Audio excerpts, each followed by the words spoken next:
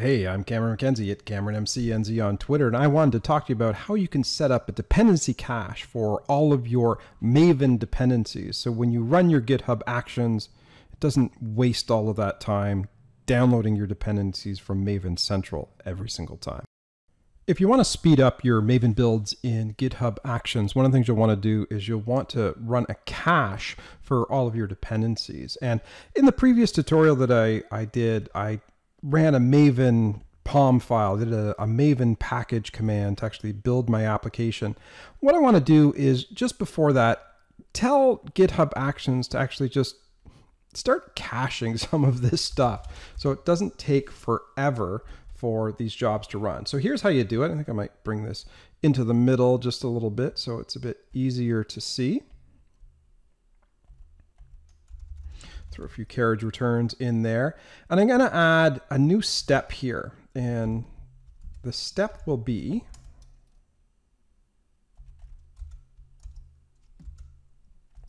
Well, it's not going to be that. It will be step number four. Set up a cache for Maven. And then what you do is you reference this cache action. So you use the uses flag right there, the, the uses entry, and you say we're going to use the cache, and then we specify a with. I'm going to get rid of that run there because we don't need a run as we're building this particular step. And I don't need that key entry there, but what I do need to do is I need to tell the cache where I want to store all of these modules, and I'll just send it to the standard M2 directory, which you know we always use to put our Maven dependencies. I'm also going to specify sort of a hash key. And the key is going to be based on the OS-M2 and then the name of the file that we are downloading the dependency for. So this will allow us to kind of create a, a, bunch of key value pairs that map the download file to a reference that can be used to extract it.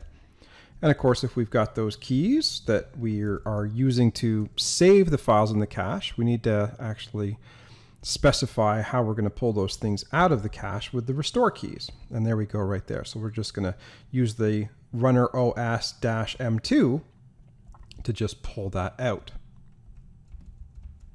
And there we go. With that, we can then run our Maven build. And the next time we run our Maven build, we will have all of these files pulled out of the cache and it'll speed up our Maven builds significantly.